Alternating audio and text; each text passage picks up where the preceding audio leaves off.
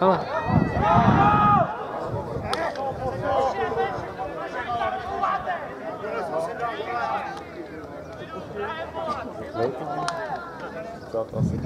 Kdo to dál?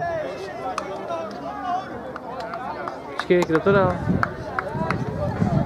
Protože to byl takový... Honzo! Honzo! Honziku! Honzo! Kdo ho dal? Díky. Staroba. Vlastní?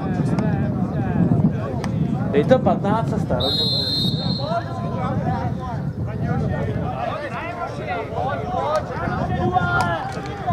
37. minuta utkání, gol střelil hráč číslo 15, Staroba Zdeněk, SK Sokolová bez podkleší, vede 1-0. Det er gjerne.